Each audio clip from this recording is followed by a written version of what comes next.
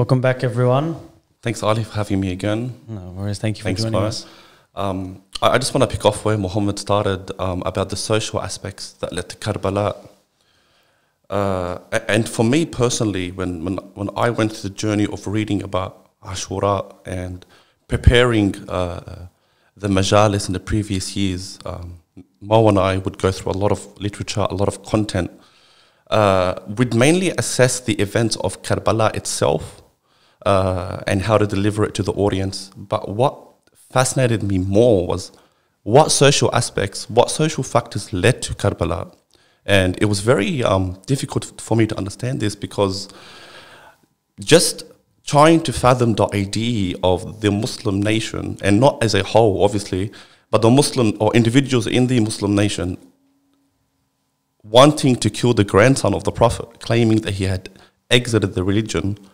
Uh, for me, it was hard to understand. I mean, it, it, it was actually, it was really difficult. So I, I went on a journey to understand what happened before that and what kind of events led to Karbala.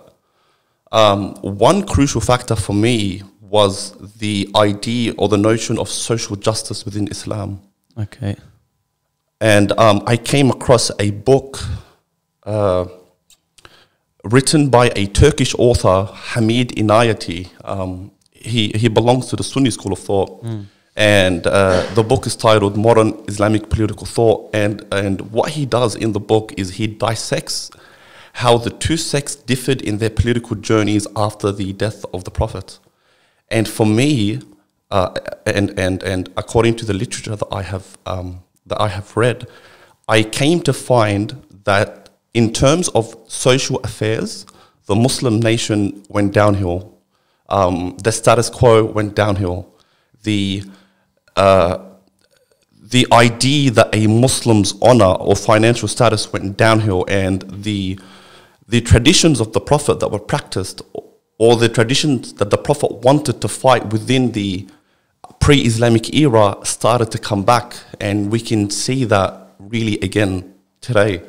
So, to me, what I, what I really wanted to understand is were these social factors avoidable, and what would have happened if we actually did avoid them? Because we did have a lot of examples before and after Karbala that echoed the sacrifice of Imam Hussein.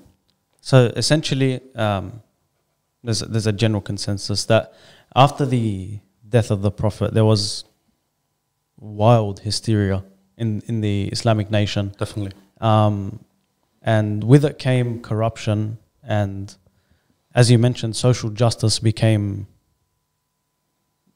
like it wasn't there anymore. Um, it was removed, and that had started with the the corruption, even when the Prophet was on his deathbed. So, was that the instigator for the the Battle of Karbala? 100%. I, I, I completely agree with you. I mean, for example, if you were to look at the, the way the, the individuals who claimed leadership after the Prophet, although there was, I mean, there, there were no legitimate grounds for their leadership, especially from a Ithna Ashari perspective.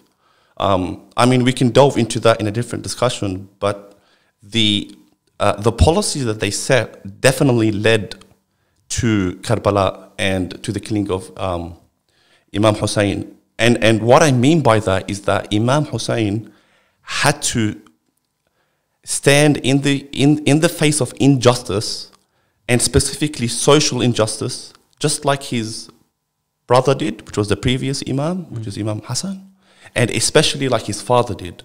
And if you were to look at, uh, for example, The Voice of Human Justice by George Jordac, if you were to analyze that, even not from an Islamic perspective, just from a simple social objective perspective, you would find that the policies set by Ali ibn Abi Talib did not agree with those who took leadership after the Prophet. I'll give you an example.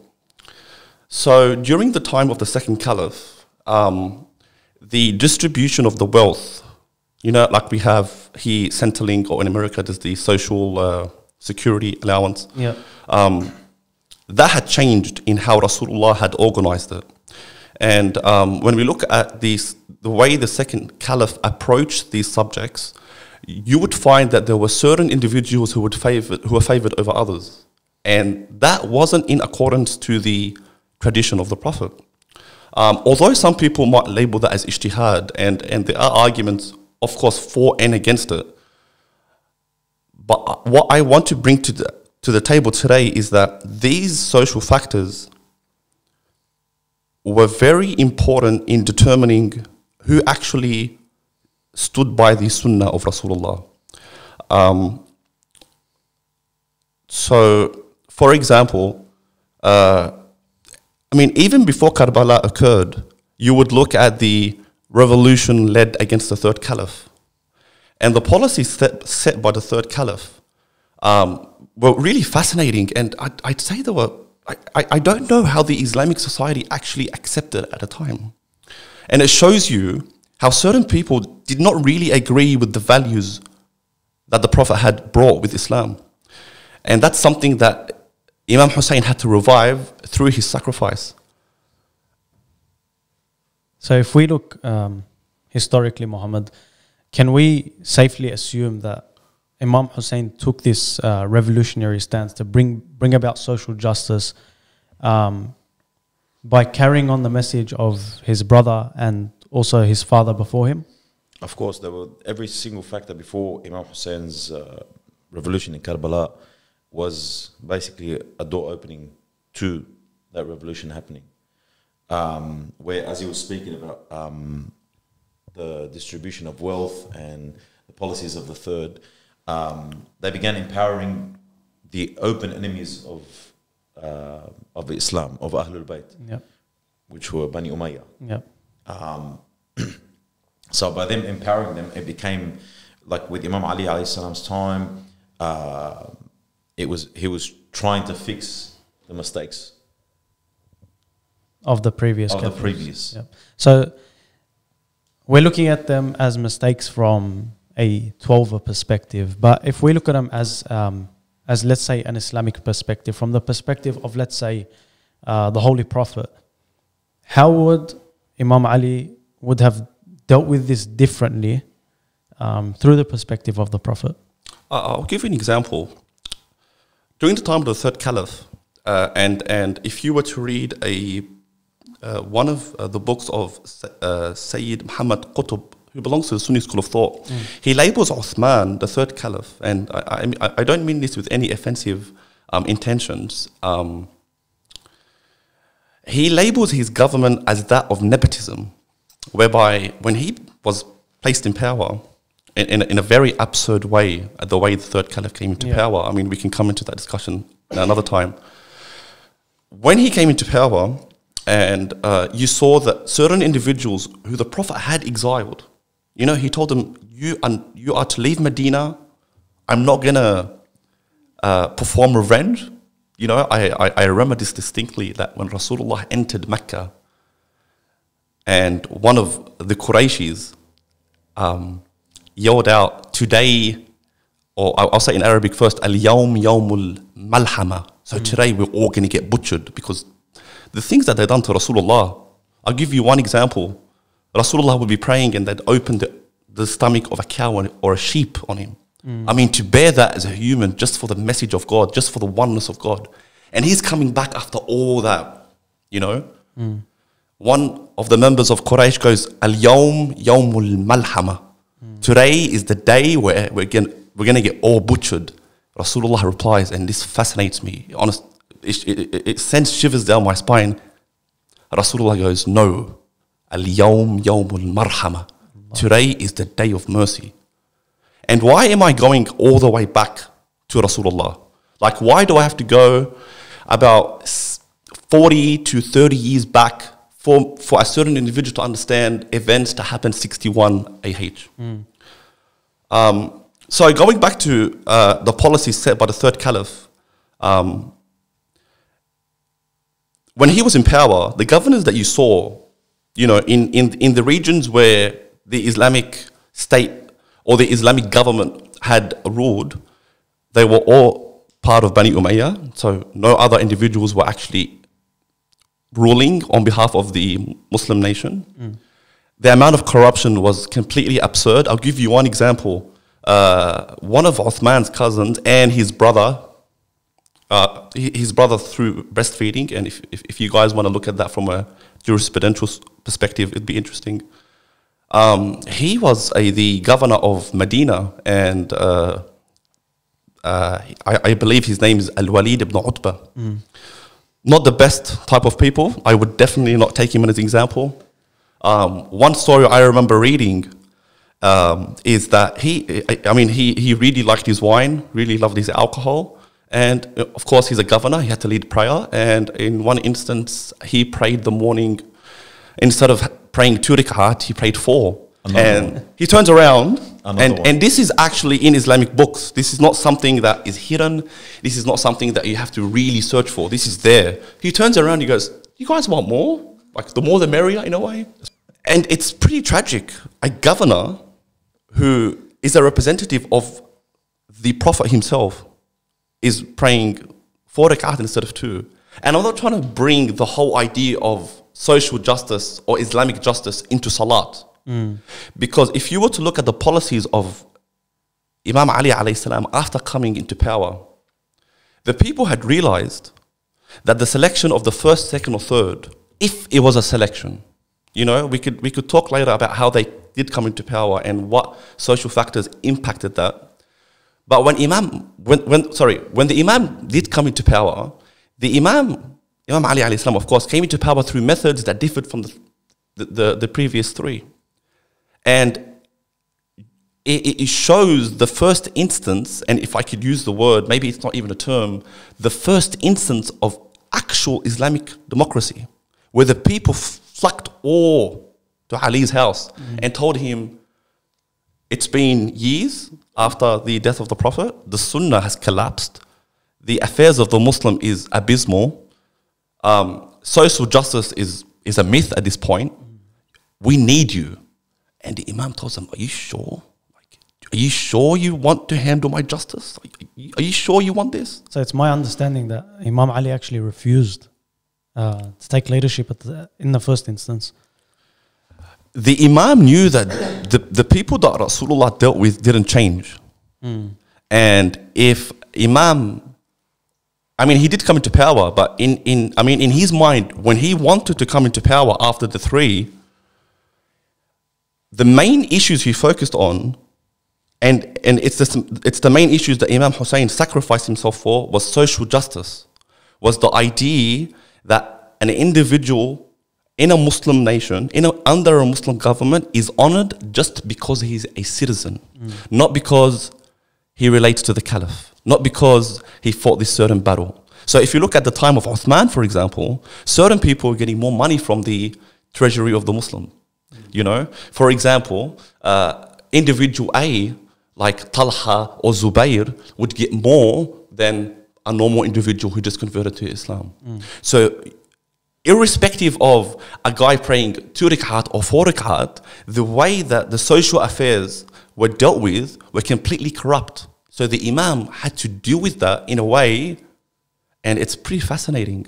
He had to deal with it in a way where he had to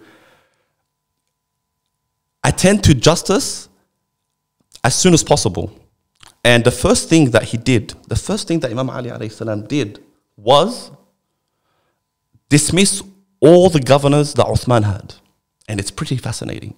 It wasn't, hey man, don't fold your hands in prayer.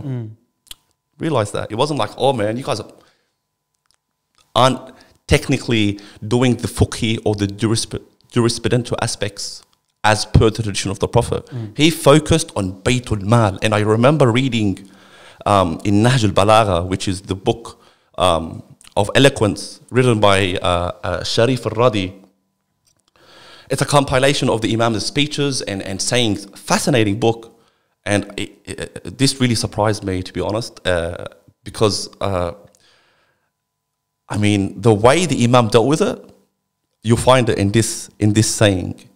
They come to his house, they want him to be a caliph. It wasn't like, oh, hey, let's sit in a room and choose one. The people came. The people determined that Ali was going to fix the issues. So, Imam Ali is attended to. We want you as the caliph. Imam Ali goes, Are you sure? Because if I'm going to come into power, if I'm going to be your ruler, I'm going to be very just And the question is, are you able to handle justice? Are you able to sacrifice that freedom that you claim that you want? That was the question, basically, that you were asking um, uh, about refusal. Mm. He didn't refuse, but deep down he knew that I don't think they're ready for this. They, they can't handle. Is that is that is that because Imam Ali had understood that they had been through so many years of injustice that they didn't even know was happening, or were they they were oblivious to? And Imam Ali responded in this way because he's like, "Well, okay, you guys are used to three caliphs dealing in a way that I'm gonna do the complete opposite, like 180 degrees difference, and they won't be able to handle because it's it's it's hard to adapt to a new system of of justice, and especially knowing that Imam Ali was uh, side by side with the Prophet, basically living and breathing the message of the Prophet. Definitely, man. I even, you even see it in instances other than Imam Ali. You, you would see that even during the time of the three that came after the Prophet. Um, one individual that I would definitely reference is Sayyidah Fatima. Sayyidah Fatima, uh, I remember in that book, Hamid Inayat, he, he explains this in, in a fascinating way. He goes, when Abu Dhar and Sayyidah Fatima stood for the right of the Muslims for social justice, this was the first example of anti-capitalism in Islamic history. Mm. So look at what scope and look at what idea these guys are trying to propagate. They were way ahead of their time, by far way ahead of their time. So when the Imam came into power, and certain, an individual A would get, for example, sixty dollars from the government, mm. or and the other individual would get hundred, and different people get different amounts. And then Ali came into power, and he'd be like, you know what? Everybody's getting three dinar or three dollars. Mm. People are like, whoa, whoa, whoa, whoa, whoa. I'm not used to this. Irrespective of God is one, two, three, or four, I'm not getting the money that I used to get. Mm. So Ali, what's to go? Like, why is this happening? And that's why you, you saw individuals like Talha and Zubair wage war in Jamal. It's surprising. Talha and Zubair were very close to the Imam. And it was those examples and those lessons that the Muslims never learnt from again and again and again and again, all the way to Karbala took place.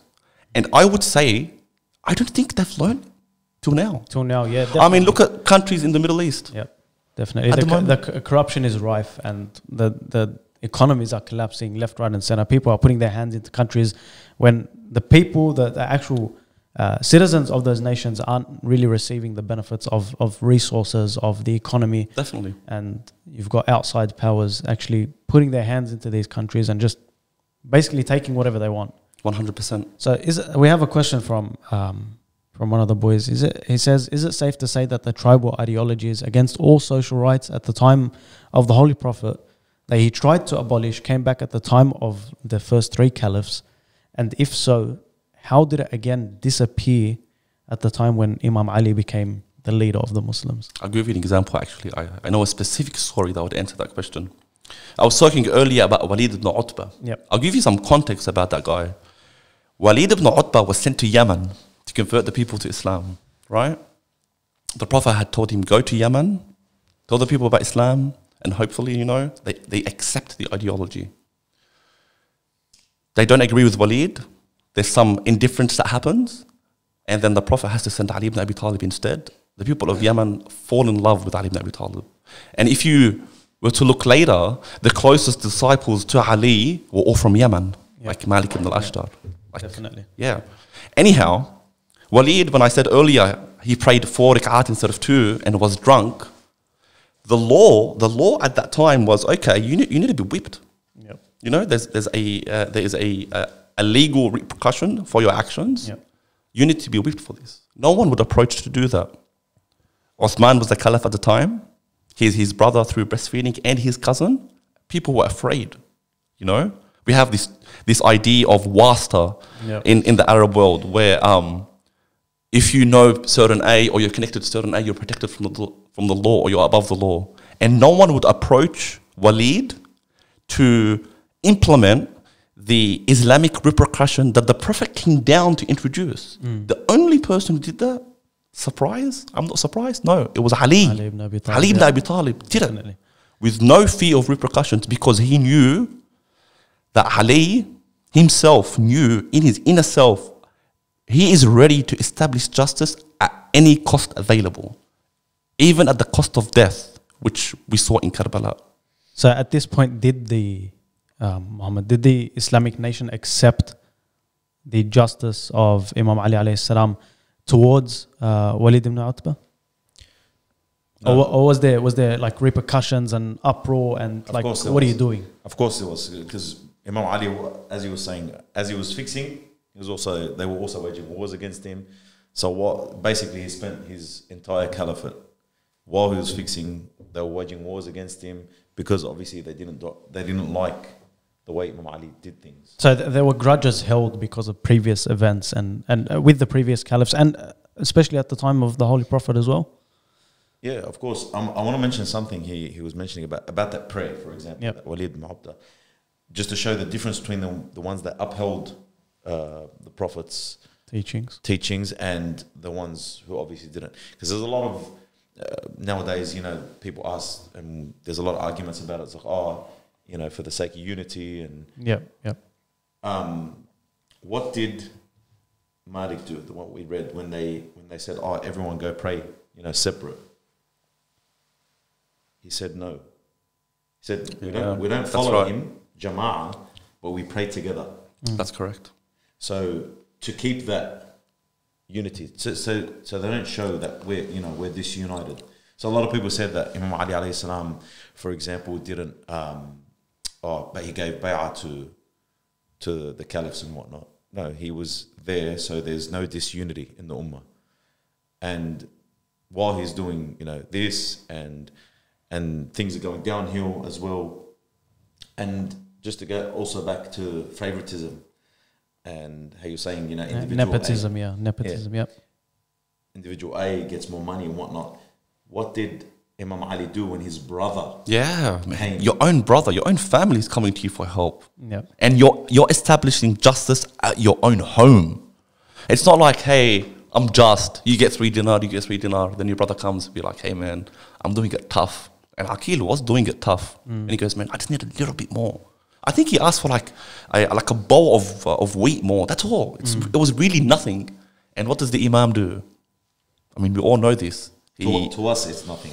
yeah, I mean, but it's huge. So, He- so, so yeah. just just for the sake of understanding the social justice of Imam Ali, let's delve into that that that specific instance. So, so the Imam was the head of the state. The Imam was the Khalifa. The Imam was the number one individual, right? And he- the people around him, his family, didn't live in in in uh, like a, a mansion, mm. ordinary home. Akil comes to him and goes, "Man, I need I, I need more." I'm, obviously, I'm paraphrasing here mm. because I need just a little bit more. The Imam replies by heating like a like a lodge of iron just hot enough, and he just brings it close to Aqil. He doesn't let it touch Aqil mm. because that's dhulm, and, and an imam would never do that. Yep. And Aqil's like, whoa, that's hot. And Imam's like, man, you're afraid of that. How do you think I would be afraid from the one that God prepares? Mm. I'm going to be just at, any cost possible. Literally, any cost possible. I'll give you another example. He was a caliph, head of state, right? You're the head of state. No one can talk to you. Yeah, give you- me an you do what Arab you want. country where the head of state is as humble as Ali ibn Abi Talib. Give me a Western country that the head of state operates like Ali ibn Abi Talib. He was a caliph, right? And Ali's known as a great warrior. I don't want to delve into the traits of his um, his fights because I don't need to. There's no need. It- There's no need to do that. Itself. It speaks for itself. The Imam had a shield. Christian took the shield. Christian's like, hey man, that's mine. Right? Let's notice a Christian living in an Islamic state Yep. or under an Islamic government. The Imam was like, no, it's mine. All right, let's go to court. So the Christian, understand this, the Christian, a Christian individual, a Christian citizen, is taking the head of the Muslim state To court. to court to be ruled by a Muslim judge. So you'd think there'd be bias there. Yeah, I want to show you how just this Imam was. And I know we're focusing on Imam Ali now a lot, and it's like, oh, what about Karbala? But I want to show you what kind of Islamic atmosphere the, the Imam was trying to create and how the people just kept refusing it because they couldn't handle it. And it really begs the question can I handle it? Can, mm. can we handle it? Mm. So they go to court. I think the, the judge was Shuraih al Qadi, Yep. I believe. Um, I mean, he, he, he had another trajectory in history, uh, especially with Karbala. So Shuraih addresses the Christian, you know, by his name, and he goes, and then Amir al Mu'mineen, which is the Prince of Believers, Yep. or it's a, it's a, uh, uh, a, a title given to the ruler. Imam was like, whoa, whoa, stop. We haven't even started, and there's injustice. Not injustice on me, injustice on the guy the who's trying to steal his shield. Yeah. Like, can you fathom that? Yeah. So he's protecting the guy that's that's basically like Yep. he's trying to rob him. Yep. then the judge is like, okay, do you have any witnesses? Imam Ali's like, I have Imam Hassan, Imam Hussein. He goes, we can't use them as witnesses. Conflict. Yada, yada, yada. Yep. And he goes, the shield belongs to the Christian. Imam Ali accepts the verdict. He goes, okay. The, the shield's yours. And the Christian's like, whoa. I took the head of state to court. I stole his shield. And then I lost. And the man accepted that decree and didn't use his power to influence it. The man gave his shield back and he goes, Man, I, I want to follow you now. So you see, those same examples, they're replicated in Ashura. They're replicated when uh, Imam Hussein uh, wanted to bring down the hegemony of Bani Umayyah. And that hegemony was established and it began with the third caliph. There is no two ways about it. Look at every Islamic historian, you will see that the sunnah of Rasulullah, both in a social aspect and a religious aspect, went downhill, especially with the third caliph. Especially when the Bani Umayyah started coming to Islam, you started seeing things like, whoa, man, let's bring back the pre Islamic era because that was better. Yeah, definitely. That was better So than what was going on at the moment. tribal mentality and and basically wanting everything for themselves. Of course. So, if the people had seen the justice of Imam Ali in full display, it was there every day of, of his rulership. Why is it that they, they rejected his son, Imam Hassan alayhi salam, from the caliphate and were more inclined to follow Muawiyah ibn Abi Sufyan? Look, Muawiyah was an interesting individual. Muawiyah came into power after his brother was ruler of Sham. I think his brother is called Yazid ibn Abi Sufyan. He was appointed during the second caliph. And after he passed away, Muawiyah came into power. Uh, and Muawiyah really was, was operating as he liked. I, I believe Muawiyah had a propaganda. I believe Abu Sufyan had a propaganda during Uthman's time. Uh, so there was a, a, a intentional, uh, an, an, intentional uh, set of behaviors to delineate people from the Islamic thought that Rasulullah had prepared them. And it's actually very, um, very obvious because only, 20 fe- only 25 years after the Prophet passed away, you had his wife and very close companions wage war on the present caliph, who was Ali ibn Abi Talib. Hmm. And the way the Imam dealt with it, wow, you can't replicate that. You can't make this up. Really, you can't make this up.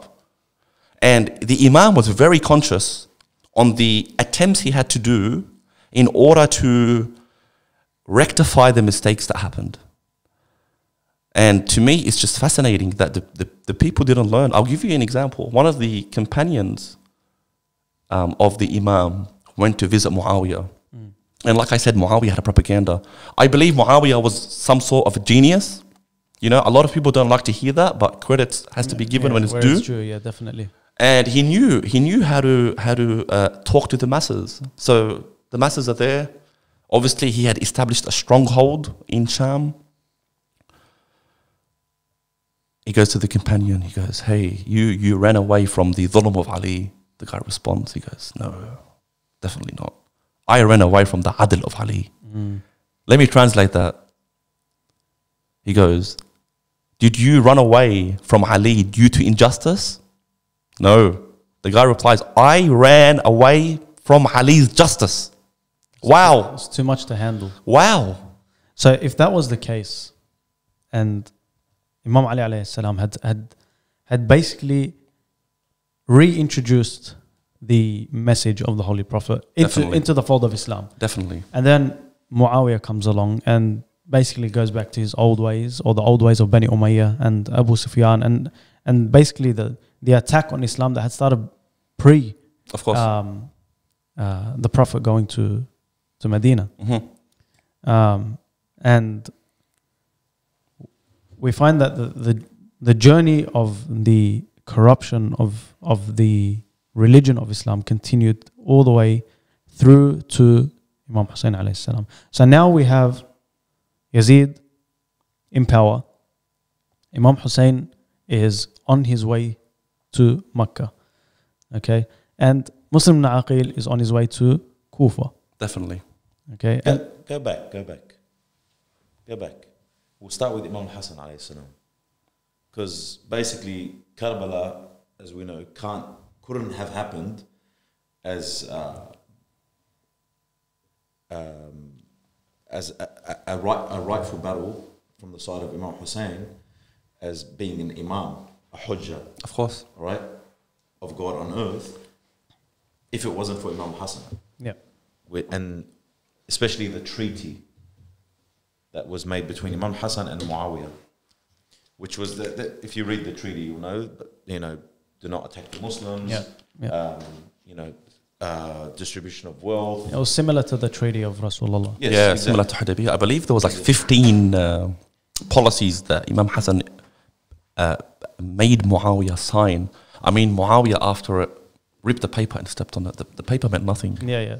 And when you go even further, when your prophet's telling you, hey man, let me write. When this happened on a Thursday, it's known as the calamity of, Calamity Thursday, of Thursday. right? So what does the paper really mean? Really? Right?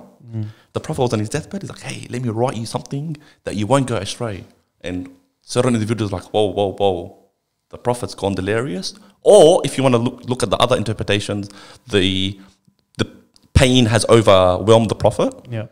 The book of Allah is enough for us. Yeah.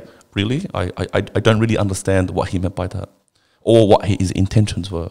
So when you look at that sulh that was established between Imam Hassan and Muawiyah, after, after it was established, Muawiyah ripped the paper, stepped on it. And then now, 10 years later, after the death of Imam Hassan, you find Karbala had to take place. And one important piece of literature I would refer you to is the book of Abu Mikhnaf, Yeah. which is one of the earliest books written in terms of the events of Karbala. And in the beginning of the book, he focuses on one important aspect. It's the letter of Muawiyah to Yazid. And if you compare that letter to the letter Imam Ali left to Imam Hassan and Hussein, it's two ends of the spectrum. Mm. One was used in the UN, by the way. Yeah. And the one used in the UN was not that of Muawiyah. I can assure you that. Mm. The UN has actually referenced the, uh, the, uh, the will of Ali to Malik and to his kids in the United Nations. And you see such difference of behavior. And it fascinates me how someone would say, yeah, Muawiyah did ijtihad, it's fine. Like, you know, he, he thought he was right, but he was really wrong. Mm, I think it's more complicated than that. Of course, Yeah, of course. it's, it's way more complicated. When you look at it in the grand scheme of things, it's. Yeah, it's definitely. it's a lot more than what it is. So now, let's take the journey uh, with Imam Hussein. Yeah, the most important part of that paper that Muawiyah tore up and stepped on was that Imam Hussein rules after, not Yazid. So that was signed. That treaty being broken was the rightful excuse for Imam Hussein. So th- that, that basically was like, okay, you've broken a treaty, and by breaking that treaty, I have the right to rise up. Exactly. Okay, so now Imam Hussein, in his position, in his position, he's he's being exiled. Okay, and and they're telling him, "We'll spill your blood in the Holy Land." Yep. Even even in the Kaaba, by the way. Marwan. Yeah. They, they told him, "We'll spill your blood in the purest of places." So what's what's Imam Hussein thinking at this moment? Or what's what's his okay? What's his plan now? I am very, very, very happy that you asked that. I'd like to reference Shahid Mutahari, mm. amazing Iranian author. He writes, he has a book called The Truth of Hussein's Revolt. Amazing book, very short, but very, very informative. And in that book, he states that the Imam did not rise over emotions or anger, mm. which isn't really the image we actually give during our majalis. He continues to talk and say, he goes, the Imam calculated every step And that's an example when you understand why would he take his women with him? Yeah. You know, you're you you literally have like a like there's like a death penalty on you. Yazid you decreed you're going to give me bay'ah or you are gone. You're dead. You know? Mm. And then he takes his women with him. It really doesn't make sense. But in in reality, the Imam had overseen and was thinking way and way ahead. And when you look at it now in retrospect, when you look at the role of Sayyida Zainab in Sham and how she addressed Yazid, you start to understand like, oh, the message was carried out by the women. The mission of Imam Hussein was definitely carefully calculated, and he saw beyond his own martyrdom Definitely. um, and was looking towards the future of the Muslims. And he put that future in the hands of Sayyida Zainab, yep, definitely. where to the point where she protected the next Imam. Yep. She she stood in front of him, protected him. She used herself as a human shield to protect the next Imam. So Imam Hussein had this was all premeditated. It wasn't as if like, okay, let's just go Yeah, with the no, flow, no, let's no. see what happens. It was not emotional at all. This was very, very, very much calculated. and at the end of the day, Imam Hussein was a general. Of course. He wasn't just an imam, like going to spread a mes- message. He, he was a general. He had an army behind him. But now, in the situation of Imam Hussein, you're traveling to Karbala, having received some narrations say 14,000 letters asking for him to come to Kufa, and they want him to lead them in Kufa. So, what went wrong there? Wow. I mean, there's so many ways to answer that question. I, I believe, I mean, the general answer you'd get, firstly, is oh, it was Ahl al Kufa. Yeah. And, and I'd like to step back from that because it wasn't really Ahl al Kufa. In reality, if you were to look at Ahl al Kufa, they were among the most individuals who were accepting the leadership of the Imam, even towards the time of Imam Ali. You also have a lot of uh, warriors that joined Imam Hussein that were from, From- Kufa. Exactly. But what went wrong is what was going wrong all along. People did not want the justice, the true justice of Islam. Is They- it, is it because they didn't want it or because they were incapable of living in a system of complete justice? Exactly. Yeah, I, I would go definitely with option B. Definitely. So now you've got a tyrant ruler um, in Kufa and in Sham. And your Imam, who your Prophet has basically said, like, this is your guy, this is who you follow. And 14,000 letters are sent. Muslim is sent to Kufa to basically figure out what's going on. Like, where, where are we now? That's correct. So at, at that point, the uh, uh, the the uh, the situation in Kufa was in favor of Imam Hussein. The people were ready. You know, you, you see letters in um, in detail, companions that were with, uh, with with the Prophet in early days. They were writing, Yeah. and they were telling them, Hussein, come, like we are ready, we are behind you. And Muslim had Muslim bin Aqil, which was Imam Hussein's cousin, he had sent a letter to Imam Hussein telling him, All right, things are things are flowing, things are in motion, come to Kufa and let's establish Islah, let's establish uh, reforms. And I'd like to use that word specifically because we hear a lot about, about it today and, and it really never happens. But that was the intention of the Imam. So social reform. Social reform, Yep. exactly. I did not come as a tyrant. I did not come Yeah, as, yeah, exactly. I So- came to reform the, the religion of my grandfather. Yeah, I look at it like it, it's like the Imam knew what we were going to think, and he's answering that question. He's answering our questions through that open or public intention. So he publicly made that intention. Yeah, and and just uh, to go back to the letters that um, were sent from Kufa, a lot of them were very specific and mentioned very specific things. And um, I think it's Sayyid ibn Tawus in in his book uh, Al-Luhuf ala qatalat al-Tufuf or, or the pangs of sorrow um, on the events of Karbala. Um, he actually uh, has those letters in the book, and like you see, some of them they're addressed to Imam Hussein, and they're saying basically like, "We're ready to go." Yep. tell us what you need, we're at your service. Yeah, yeah. But then Muslim ibn Aqil in the mosque, he turns around, there's No one, no one behind it. there's no one there. Yeah. So again, it was the propaganda of Bani Umayyah. the same steps So- Muawiyah had used. Fear mongering, Fear mongering, yeah. um, propaganda. So when they found out that Imam Hussein was headed towards uh, Kufa, he sent Ibn Ziyad Yep. as uh, as the uh, leader to, to lead Kufa Yep. um, as the governor of Kufa. But he entered dressed as Imam Hussein. That's right.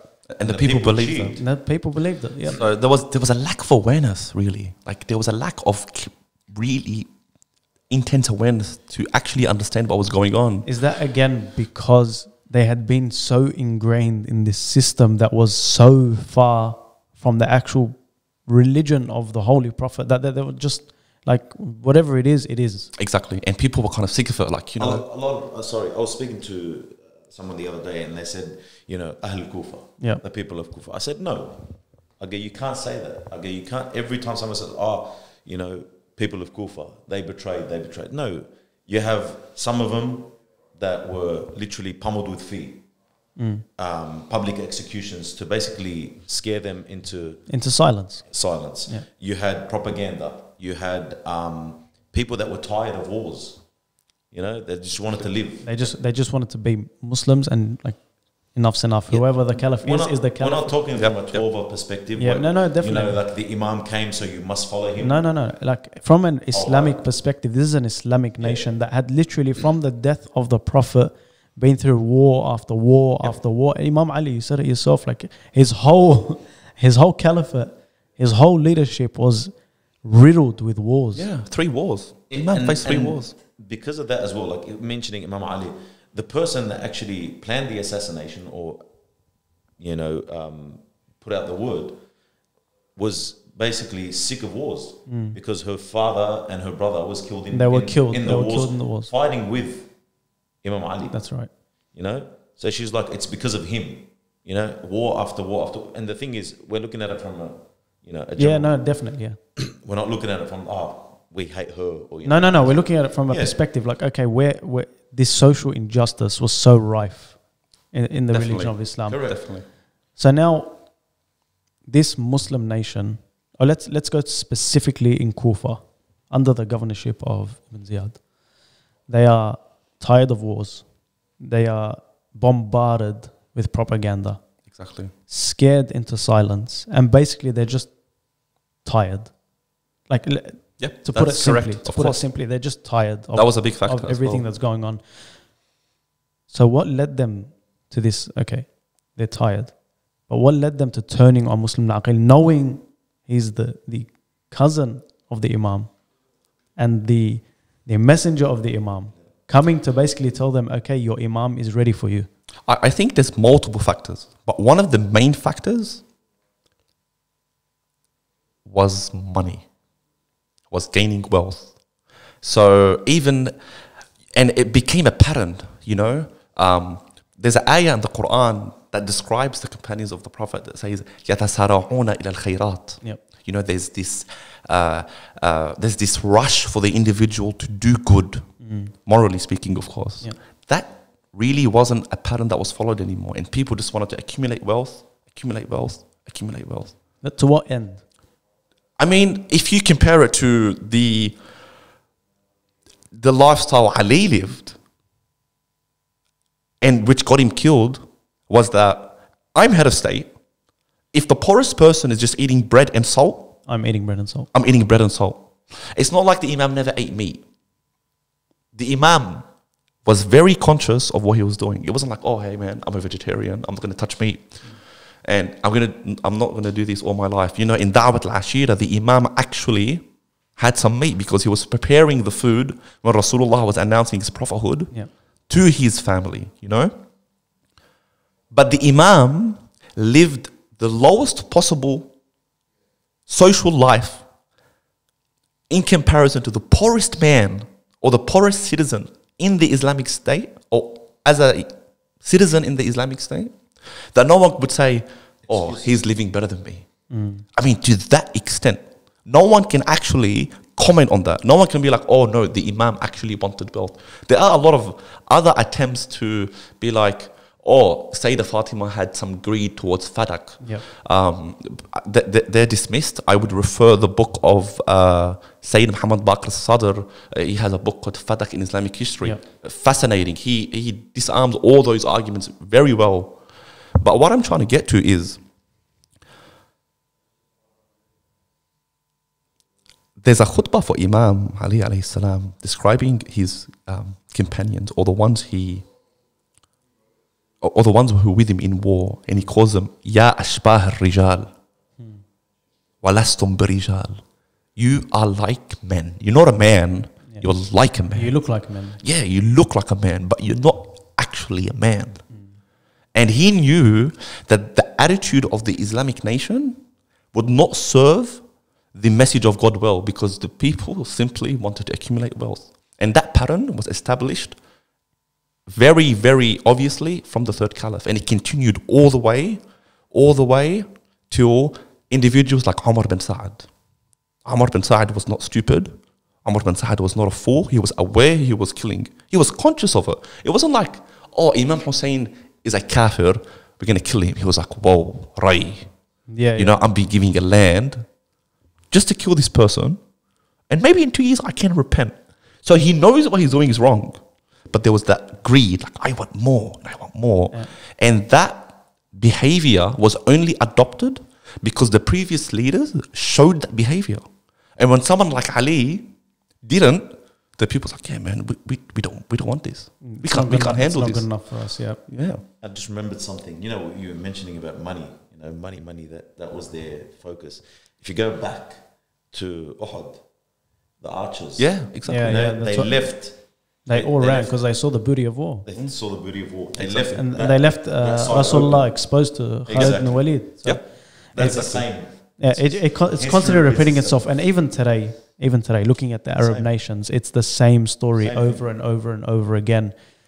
And I think the cycle, um, I, that's, I think Imam Hussein set out to break that cycle, to bring about social justice, to bring about social reform and, and the reform of the, of the, of the message of Islam in itself. But now he's faced with a dilemma. His, his cousin, his messenger has been killed by um, Ibn Ziyad, Yep. thrown off a castle and dragged through the streets. Hani ibn Urwa has been killed. Yep. That was an, that was an, uh, also an example of Should I? let's establish fee among the people. Yep. Beyond our rising the state, we're going to crush you. You know, it's like how the communists rule with an iron fist. Yeah. Like, you have to be scared of us because if you're not a, a loyal citizen to this corruption, you're going to get crushed, and we're going to we're going to show everybody It's basically What's setting an happen? example. Setting Yeah, an example through exactly. Urwa. And and you'll find something interesting when Imam Hussein got the letter that Muslim bin Aqil was assassinated and was killed. It was about midway through Karbala. He didn't turn back. He didn't turn. He was like, "Whoa, they, they killed him. Things are not in my favor. Let me turn back and protect myself." Imam Hussein looked into the eyes of death, literally, and was like, "Death over humiliation."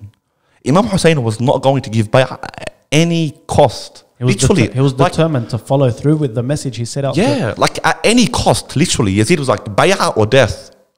I chose death. You know, yeah. And it surprises me how this individual is not recognized internationally and especially among the Western world. When you have people like Patrick Henry, mm. you know, one of the American revolutionaries, who says, Give me liberty or give me death. And he's honored, you know, he's an example to the world. Why isn't Hussein ibn Ali used as an example? He, he done that way before, and, and for Way even before, more than just liberty. He he came about, and not just. Um, it wasn't just about social justice. Of course, that's our focus today, but he came about to show, like, at the end of the day, we're human. Yep. At the end of the day, we are human, regardless of Muslim, Sunni, Shia, Yeah, Christian. yeah. It didn't matter. Of course. It, to the Imam, it did not matter. you have a respect just because you're a citizen of a state. I'll give you a, a story. Imam Ali alayhi salam as a caliph was strolling through the through Kufa, and again head of state strolling, you know, observing the public, and he sees a man begging for money, and Ali is like to his companions, "Why is there a man under my rule begging for money?" They're like, uh, Ali, he's a Christian. He's like, I didn't ask about his religion. Why is there a man begging? You used him during his youth to work for us, and now when he's old and incapable, you don't help him? Give him from the treasury of the Muslims. Hold on a sec. This guy isn't a Muslim. This guy shouldn't be getting the money. But the Imam is giving someone from another religion, from another ideology, the money of the Muslim treasury, of course, in a just way to show that under my rule, the birds won't get hungry. Mm. And he told them, make sure to sprinkle wheat on the mountains so nobody is hungry. Look at the focus of the Imam. He wasn't like, hey man, the prayer has to change, or certain aspects of the adhan were altered, let's bring that back. They are very important, by the way, but it wasn't the Imam's focus. And when you look at, because Imam Ali showed us, or Imam Ali demonstrated a government that was led by a mahsoom, by an infallible, the way that we believe it had to go. So we do have an example of how things went. And when you look at how Ali conducted himself politically, as a politician, I think everybody is fascinated. To the extent that certain Christians like George Jordac is calling Ali the voice of human justice. Yep. Wow. Like to me, that's fascinating. What more do you need? What more do you need? So now,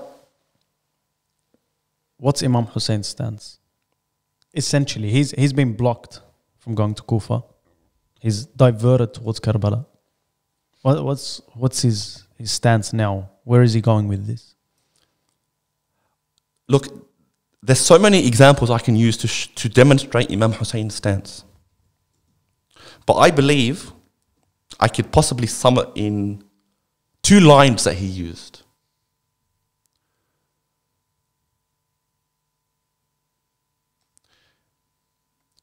And I'm going to say in Arabic first, just to be able to translate it. He goes, Wallahi, لقد وضعني بين السلة والذلة. Right? Either I give bay'ah and Yazid is accepted, recognized as a caliph, or I don't. And Imam Hussein knew the repercussions of him not giving bay'ah. Not, oh, he's going to die. But the, the way the world is going to view that. Because if you look later, there were more revolutions against Bani Umayyah. Yep. And Bani Umayyah crumbled after that. I mean, Yazid attacked the Kaaba, Yazid attacked Medina, right? And then you had another Hussein from the family of the Prophet actually wage war. You had Zayd wage a war. So it wasn't, oh, Imam Hussein was the only individual. But I'll explain, I'll explain it like an analogy like this. You have an earthquake, and post the earthquake, you have little earthquakes. Yep. Imam Hussein was the major one, and the little earthquakes There were, certain tremors. individuals. Yeah, tremors. And you see them till now. Until this day. Yeah, certain countries have liberated themselves on the thought of Hussein ibn Ali. Yeah, definitely. You know? look, at- look at Yemen now and and the stance they have. It's it's Of course. it's the same concept. Like there's oppression, and we're here to break that that cycle of oppression. So now Imam Hussein's looking at this. He's walked into a battle where, if we're honest with ourselves, he does not have the manpower. yeah, yeah, the odds were against him. by Some narrations go to forty thousand. Some weaker narrations go go even higher. Yeah, that's right. a lot higher. Um, so he's walked into a battle with his family, his his his brother, his cousins, his his son, his nephews, um, and the women, Yeah. the women of of Rasulullah. Of course. I mean, I'll, I'll show you an example. Uh, we were talking earlier about the tactics used by Bani Umayyah in terms of the fee and the propaganda. The night before the 10th, the night before the battle, Imam Hussein dims the lights. Right? This is so fascinating. He dims the lights. And he goes, Let everybody or my companions partner with one of my household and leave. Imam Hussein gave him a choice. He wasn't like, hey man, I'm your Imam. Be with me, please. I need somebody next to me. Imam Hussein was so honorable that he was ready to face all of Bani Umayyah by himself. Yeah, on his own, yeah. Literally, as an individual. Try to imagine it. Let's say you have 10,000. You know how there's narrations that say 40. I've seen narrations to 120,000. Yeah, yeah, definitely. But let's say there's 10,000, Even right? less than that doesn't really matter. Who is brave enough to stand alone, literally by yourself? You're that determined to be like, no, I am not giving bay'ah. You can cut me into pieces. You can behead me. And he knew that. And it wasn't suicidal. It wasn't like, oh, I'm sick of life. I want to die. No. It was like, you know what? I'm going to stand in, front, in the face of Yazid, even if I'm going to get beheaded. It was a man on a mission. Yep. And look over here he is now. He says something in Arabic, Osayef, mithli la yubayu mithli. Exactly. He doesn't mean it in a conceited way. Someone like me does not give allegiance to someone like him. So, so um, what does the Imam mean by this? Like in in the context of where he is what does the Imam be, mean by like someone like me will never give allegiance to someone like you? The Imam is trying to, the Imam is trying to raise basira. The Imam is trying to raise, uh, raise conscientiousness towards haqq. To identify himself as a hujjah, to be like someone who has my traits, someone that has my lineage, would not give bay'ah to someone that, that is like you, who did not pray, who would drink alcohol, who would kill the respected self, as the Imam narrates specifically. But more so, even in a, in, in, in a uh, ego eye view, Righteous. the Imam was trying to establish a righteous society by stating himself as an example. Like, Mithli, he knew it. And that's why the mission of reform was from day one for the Imam, Yeah. despite the difficulties. And you were saying before how Imam Hussein alayhi salam says um, uh, his, his mission, sorry, um, and he says uh, he says something, and I'll link it to what you were saying. Uh, when Ali Akbar asks him, "Are we marching towards death?" And then he says to him, "Alasna ala haqq." Are we not on the Are we true not on the righteous path? Haqq in this, in you can look at it in two ways. There's a haqq as in the rights, and haqq as in truth. All right, and then he goes, "Yes, we are." And then Ali Akbar replies, he goes, "Then we do not care if death falls upon us or we fall, fall upon death." So that was also another uh, basically nudge at where you know we are going to establish a righteous government. Definitely. So At any what, cost possible. what baffles me is that his family and his companions took a leaf out of Imam Hussein's book. It baffles me. At the end of the day, he is an infallible. Let's look at him as an infallible, as a leader, as a general. But his companions, given the, the chance to go, to leave in the darkness of the night, Yep.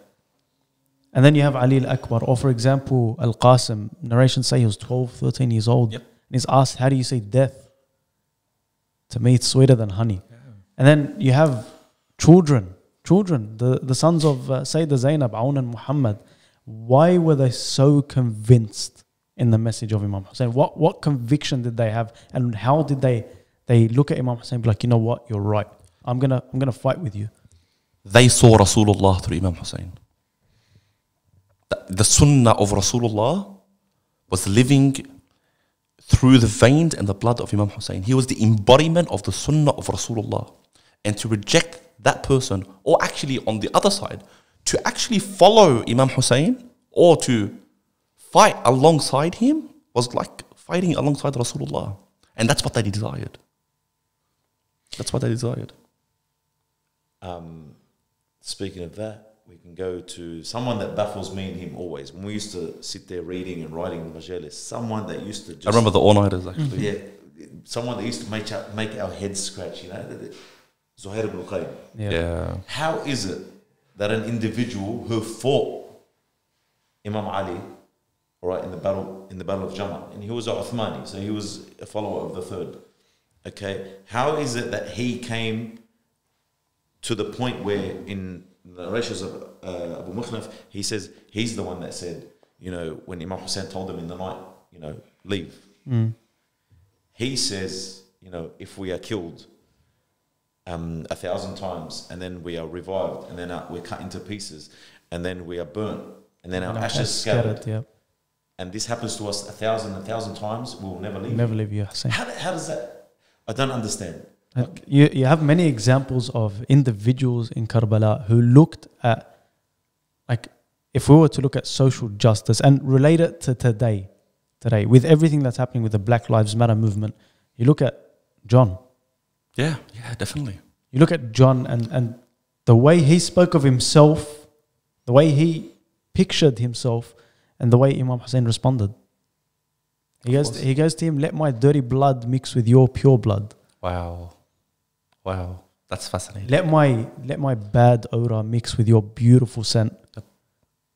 And then Imam Hussein comes to him after he's martyred and he, he puts his cheek on his cheek and like Yeah. that that's a powerful message. Of only course. two, I only done that with two people. Yeah. His son Ali al Akbar and John. And John. Wow. And Wow. then- As a slave. But see, that's what made him. That's what John. That's what made him uh, cry. Yeah, yeah. He was shocked. He's like, "Who is like me?" That the son of Rasulullah puts his cheek. Puts his cheek upon my cheek. You look at John and then the mess so Imam Hussein didn't do anything just Haphazardly. just no. just Yeah. for the sake of doing it. No. calculated. putting, putting his cheek on the cheek of a black man, that's a big message. and not like we're talking 1400 years ago. We're talking right. a time where these people were not respected whatsoever. no, no, they were treated Yeah. worse than Yeah. And just go back to the 1960s and see how the Western world was dealing with the black the, people. The civil rights movement in Yeah. America and, and the way, even today, today, the way uh, blacks are treated in America, even here in Australia Yep. with the Aboriginals. of course. And look at Imam Hussein 1400 years ago. He sends a message that has lasted this long. Yep. How powerful. he's, he's, how powerful. that in itself is social justice. of course. Something very, very small, but yet echoed throughout history. Definitely. And we're talking about it, what, 1400 years later? Yep. A- Until now, it baffles us. And until now, it baffles the Muslims. Yep. Like, how can a man. Before John was killed, I mentioned something. I was reading it. He was kneeling down and he was waiting. Hmm. So Imam Hussein, after he gave the speech, and he said, you know, leave in the night, and John was by himself, just looking towards the battlefield. Imam Hussein comes and he whispers. To, he he can hear John whispering something, and what he was saying was in his mind, he's like, I have been with you know Abu Dhar, because he was Abu Dhar's uh, Slave. servant. Yep. I've been with Ali ibn Abi Talib, I've been with Al Hassan, and he goes, and I am not leaving here until I give every last drop of my blood in service of this man. Mm. So Imam Hussein, he's him saying this, and he's saying it to himself, and he goes to him, John, he goes, You are old, yeah, you know, you've done your part. You don't, you don't need to fight. Yeah, you've done your part, you've served, you know, and and throughout his service, that's what a lot of people don't understand. Throughout his service, he clung on to them.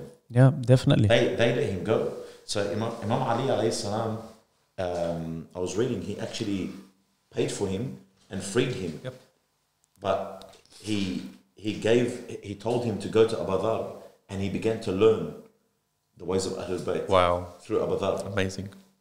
And then slowly, slowly, that it embedded in him. Yep. So by the time I got to Imam Hussein, this guy's saying, I'm going to live, I'm going to give, you know, every last drop of my blood in service of him, of my master.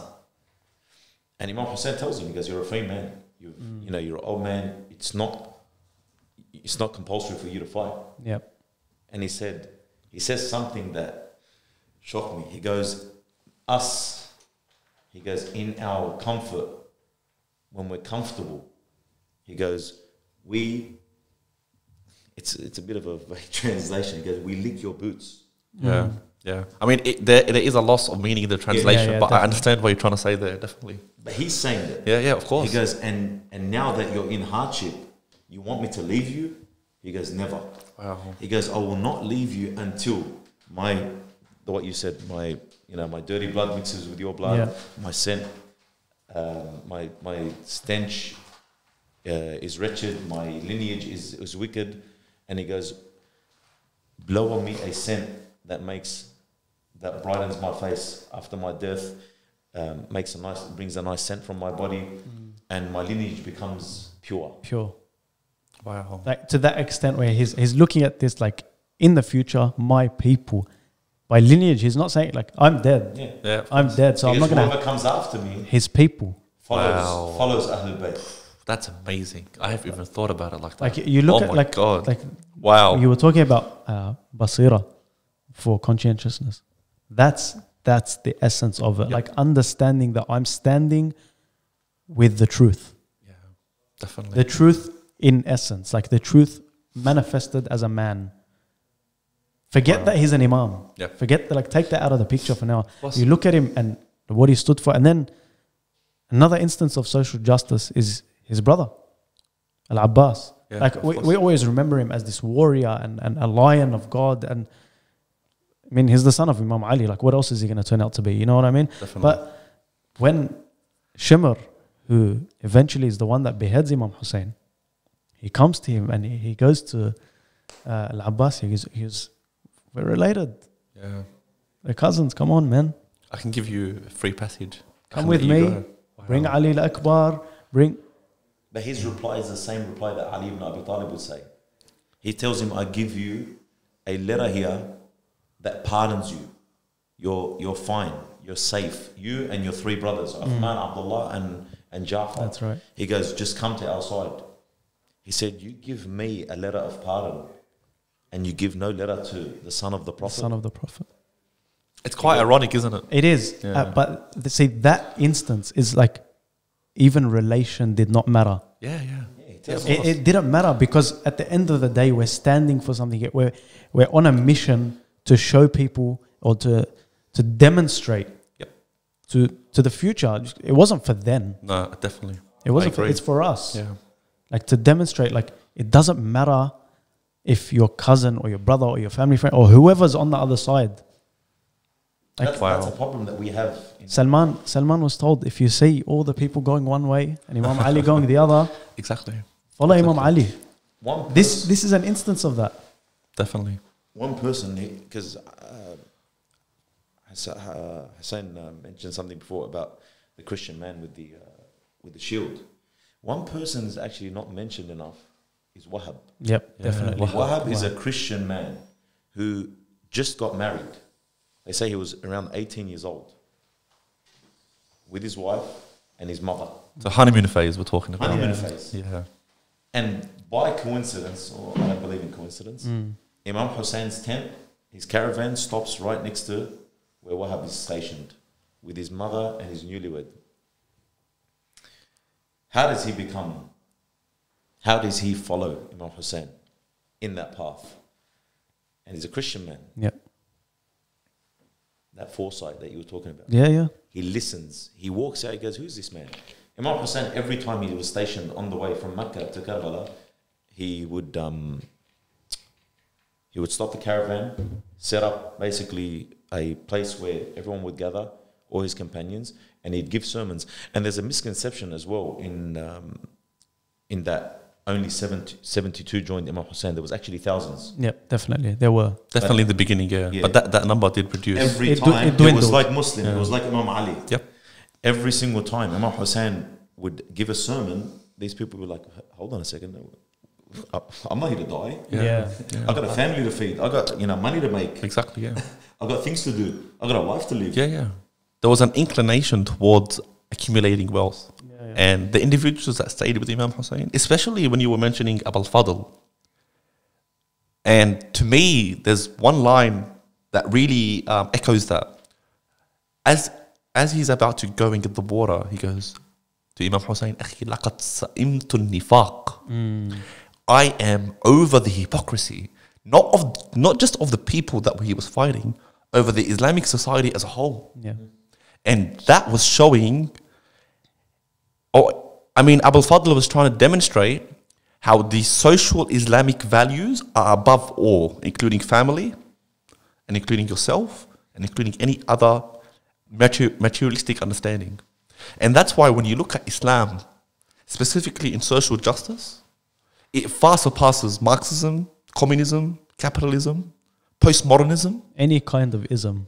literally the ideals presented within Islam in a perspective introduced by social justice are the highest form.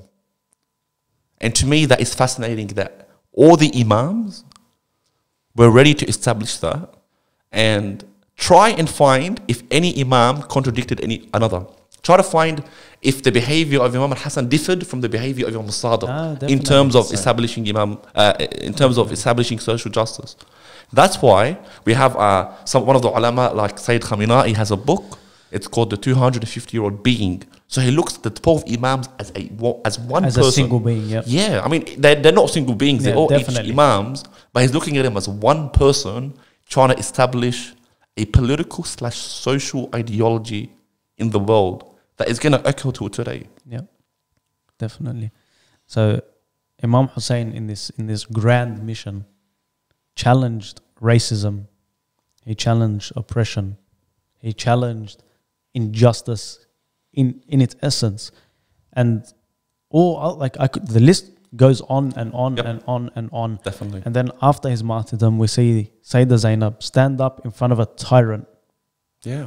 and and people go out to say, oh, women don't have all this kind of stuff in Islam. And then you see Sayyidah Zainab, Sayyidah Zainab, who has seen her whole family massacred, Yep.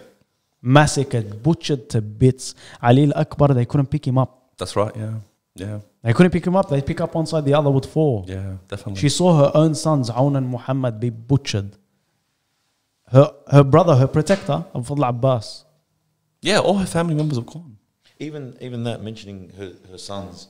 All right, what did she do? She, she, went, she went into submission. Yeah. And she said, Oh God, please accept this little sacrifice. Yeah, man. And then, even after, when Imam Hussein had been beheaded, she went up to his body, Oh Allah, please accept this little sacrifice, I this mean, small sacrifice. What did she see, right? When she was asked by Ibn Ziyad, what did she say? nothing, nothing but beauty. How can you interpret that, man? You can't. how can there you was, there's that? so much wisdom behind that that line. I was once listening to a brother and he said he goes because she understood the true meaning of La ilaha illallah. Wow. It reminds me of how her, mo- her mother conducted herself. Yep. And it shows you that those attempts to re-establish social justice were were consistent with these individuals. Definitely. Sayyidah Zahra rose up, Sayyidah Zainab rose up. All these individuals rose up to women or men, doesn't matter. Yeah. The gender At he the didn't end matter. of the day, it Yeah. was the same message. it was the same message. To be That- honest, I, I, I find I find Sayyidah Fatima and Sayyidah Zainab's speeches stronger than certain men's speeches. Yeah, no, right, no, yeah. definitely. They begin them like, Definitely. with with such That Yeah. Their fervor and Wow. firmness and strength, like "A'lamu anni Fatima." yeah. Know that I am Fatima. Yep, yep. Right, Sayyida Zainab. You know, your days are numbered. Wow. Like who Amazing. staunches to a, a a tyrant. like, literally, the whole country was in fear yeah. Yeah. from this guy, and she's staunching right in front of him. And mind you, they had technically, physically lost the battle because they all died. Definitely. Yeah. But then then she stands up and she basically hands it back to him like, okay, we're all dead, but Yeah. you go, take this. And and look how she connects the dots. You know, when he tells her, Your brother exited your, the religion, he goes, My brother exited the religion. it's you and your father. That's who exited the religion. she, she, she did not back down from Yeah. standing up for Imam Hussein's message. And in fact, she continued that message. She was the most important individual in re establishing the message of Karbala. And that's why at the start of this discussion, we mentioned like, why would he take the women? Exactly. Exactly Yeah, why, yeah. because they saw the whole journey. Definitely. Definitely. The whole journey. And the Arabs, the Arabs, they knew you can't kill the women. Yeah, yeah. I mean, it was among the Arab, uh, uh, uh, what do I say, customs? Yeah. Not to kill the th- women. They knew that. So maybe the Imam calculated that. Look at that wisdom. yeah, maybe the Imam calculated. He Like, knew that. He maybe. knew, like, Yeah. as bad and as as disgusting as these people were. That's right, yeah. I'm gonna take my sister because I need someone to continue the message. My, Wow. my son Wow. is, is ill. Yep. My son is ill. He, Yep. I wouldn't say he's incapable, but the fact that Sayyidah Zainab was the one to jump in front of him when he was about to be attacked, and she's the one that gets up and gives the first speech. Yep. The first speech in the court of Yazid. Yeah, they did not show weakness No, no, no, none in front all. of Yazid. None at all. or in front of Ibn Ziyad or in on in Karbala. The Imam did not show weakness. Yeah, they would cry inside. We mentioned them in Majalis. Yeah. Me and Taleb have come across that many times. You know that she would go in the tent and cry.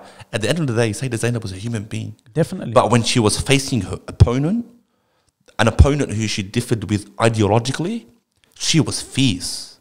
She was really fierce. That's why the Imam Ali says, "My daughter Zainab is alima ghayr muallama." Mm. I mean, translate that, man. How, can I translate that to English? Someone who knows but isn't taught. yeah.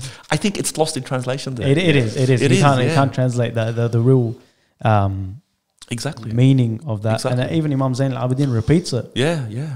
Definitely. عمتي زينب عالمة غير معلمة Wow. فاهمة غير Exactly. مفهمة like she she's knowledgeable without being taught and she's she's a s- a, scholar Yeah, man. Even even to link that with the twelfth Imam, I, I don't want to go off topic here, but I want to just focus on that role of women.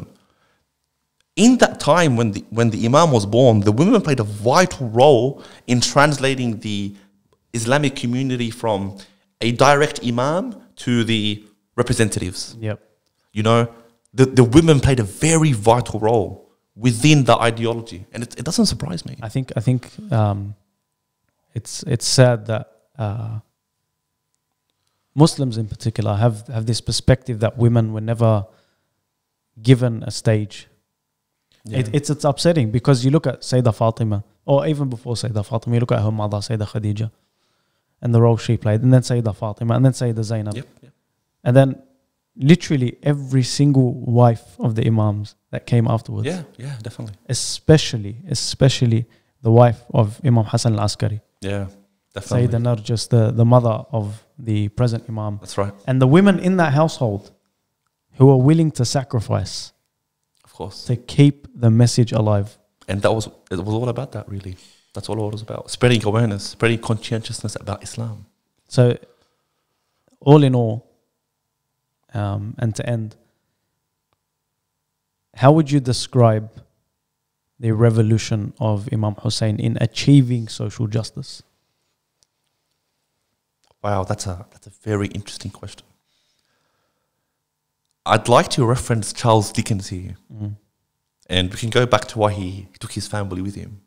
Charles Dickens says if Hussein had worldly desires in his revolution, right?